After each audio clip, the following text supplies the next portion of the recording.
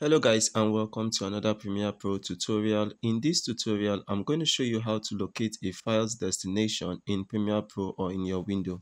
So to locate a file's location in Premiere Pro, all you need to do is to select that file, right click, and scroll down and select Reveal in Project.